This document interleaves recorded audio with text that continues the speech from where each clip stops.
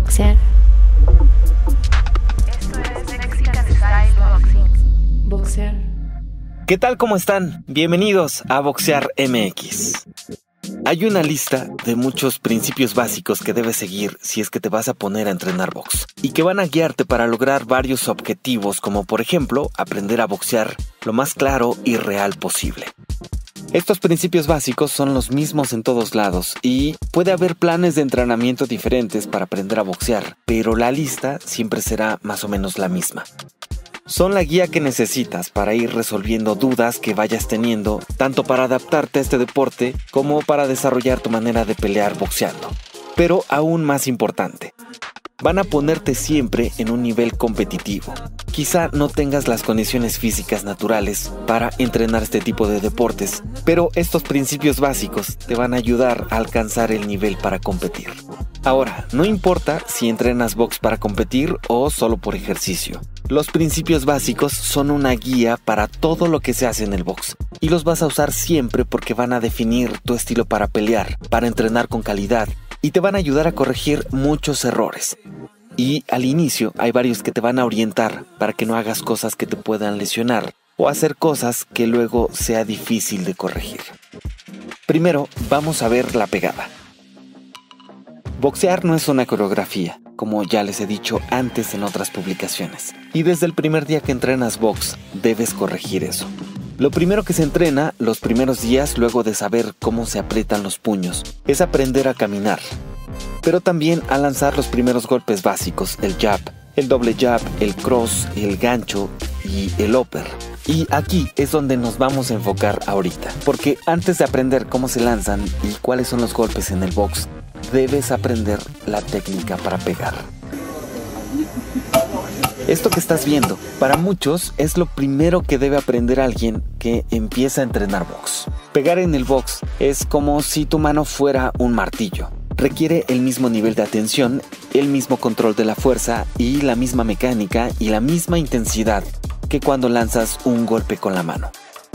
Háganlo así y van a ver cómo todo cambia. Si aventaras el martillo al aire sin un objetivo, el martillo se va a ir de lado y al pegarle al clavo no va a funcionar ese golpe. Incluso pierdes tiempo en tu movimiento porque no tiene la mínima intensidad que se necesita. Digamos que es un mal golpe y solo estás gastando energía. Si por el contrario, al golpear tu fuerza y tu movimiento lo haces de manera totalmente controlada, el resultado va a ser el que buscas. Aquí puedes ver la diferencia. Siempre enfócate en dónde acaban los golpes y regresa la mano. Así es como tienes que entrenar tu técnica de pegada desde que empiezas.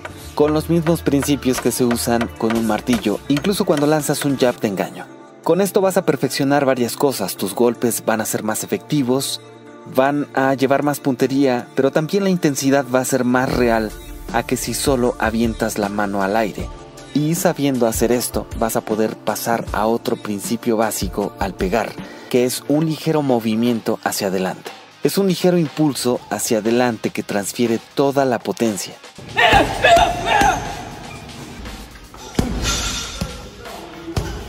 Haciendo este pequeño movimiento también vas a aprender a respirar en el box, porque empiezas a sacar el aire como se hace en este deporte.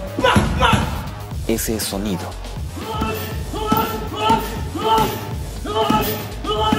Ese sonido no se hace para hacer ruido, ni para sacar el aire así nada más porque sí, sino porque estás transmitiendo la potencia a tu pegada. Así que desde que empiezas a entrenar desde cero, ten en cuenta estos tres principios básicos. Imagina que tu golpe es como si pegaras con un martillo. Impúlsate siempre para transferir toda la potencia al golpe. Al inicio puede que te veas lento, pero poco a poco irás mejorando. Y cuando lances un golpe, asegúrate de sacar el aire por la boca porque es la manera que tiene el cuerpo para balancear la potencia de la pegada y del abdomen y poder recuperarte en milésimas de segundo y estar preparado para lanzar los siguientes golpes. Muchos se han subido a pelear sin entender esta parte y muchos están en los gimnasios haciendo sombra o en el costal sin tomar estos principios básicos. Así que espero que les funcione, espero les sirvan estos tips. Espero en los próximos videos, es una lista muy amplia que vamos a ir platicando poco a poco. Espero les guste. Por favor suscríbanse Estos son los nuevos contenidos en Boxear MX.